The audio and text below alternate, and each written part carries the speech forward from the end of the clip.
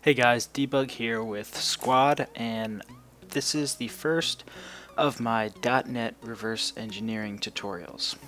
So in this tutorial we will be going over MSIL, which is the Microsoft Intermediate Language, which is um, basically what .NET applications are compiled down to.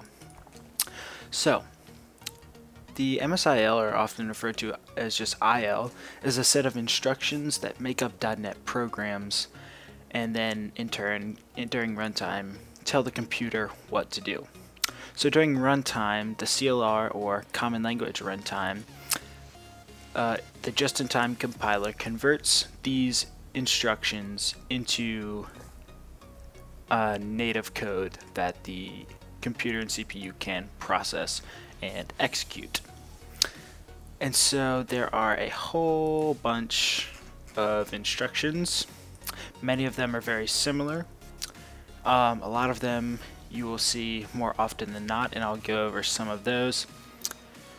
But um, the main ones that I will show you in just a second will be the ones that you should keep in mind when cracking applications because they are if statements, returns, etc., etc. So I'll go for the main one, which is an LDSTR. Basically, LDSTR is just a string. So this would be important if you're looking for, for instance, a password. So if password box equals access123, show the hidden form or something, something like that. Obviously that's very insecure and basic, but that's just the best basic idea I can give you. The next is BR true and BR false. And there's also BRS, this is just the shorter version, int 8 as opposed to an int 32. Uh, in all reality, it doesn't really matter. If you see them, they do the same exact thing. What these are are basically an if statement. So you would see a BR true if you have, say, if textbox.text equals, obviously this is pseudocode, so don't copy this or anything, access 123, then something, something, something. This is where you would see the BR true that would then branch down into something. So if for instance you had a BR true and you didn't know the password, so you didn't know this password, and in MSIL you edited it to instead BR false, the opposite, you could put in anything that is not this password and the code would execute into this if statement here, if that makes sense. And likewise, that goes vice versa. If you had if something equals password, then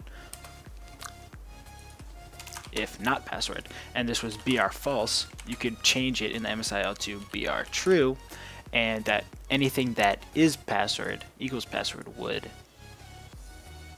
work. I think so, yeah. That should be correct. Okay, and now the next one I shall go over is call, which is actually right here. Call basically just calls a method. So you could have something like if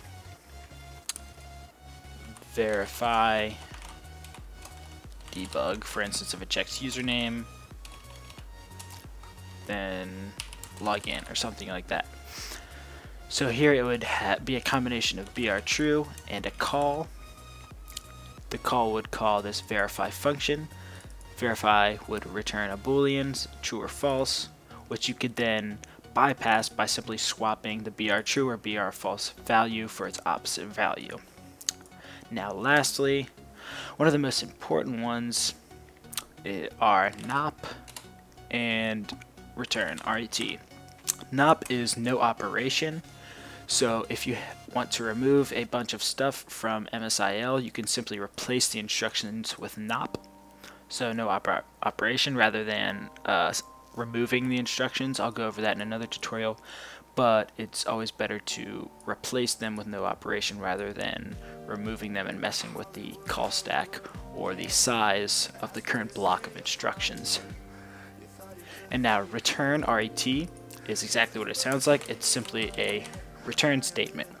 So say you have a bunch of integrity checks at the beginning of starting your application, right?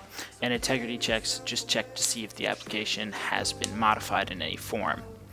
So you say, here's your entry point of the application, and inside this entry point you have some sort of check if um,